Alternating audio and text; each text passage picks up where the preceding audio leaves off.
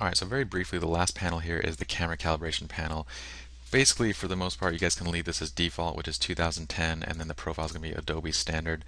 What this is used for is for creating very, very specific camera calibration profiles uh, to kind of get a slightly more accurate color profile from your cameras. You can also use it to kind of create artistic color profiles of those cameras. We'll probably have some tutorials on this in the future, but for now, I want to kind of skip it and uh, move right into basically the just developing and getting you guys onto actually developing photos, teaching you guys different recipes and different techniques and stuff like that for developing. As far as the menu goes in the develop module, in the library module we actually covered each specific menu component and went over things that we might not have covered in the library uh, interface.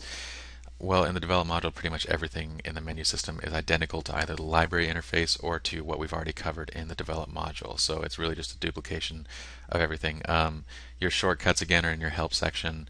The rest of it is going to be really intuitive. You guys are going to know what each item is. So we're just going to kind of skip that. If you guys have gone through all the entire library and the develop module detail, uh, congratulations. You guys are going to be Lightroom masters by the time you're done with this.